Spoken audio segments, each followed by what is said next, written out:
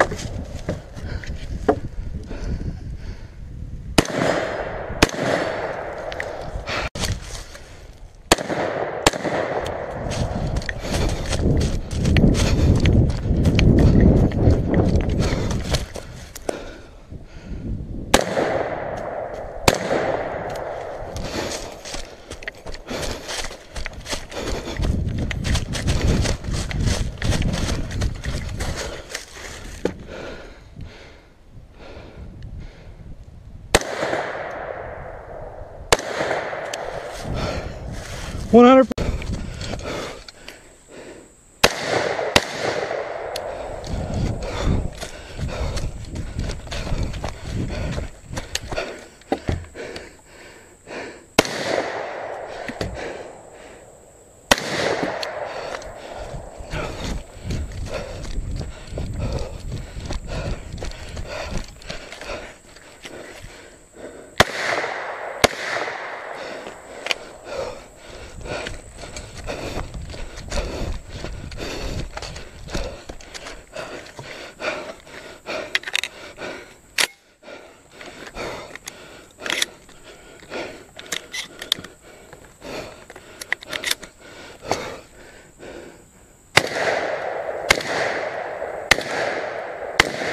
All right.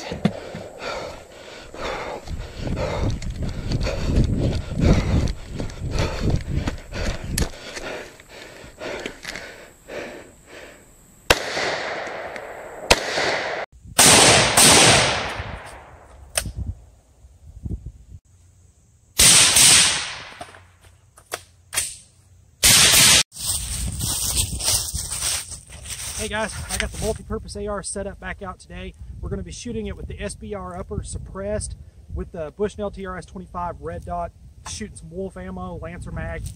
shooting it at 50 yards. We're going to be doing some mag change drills, let you guys see it in action.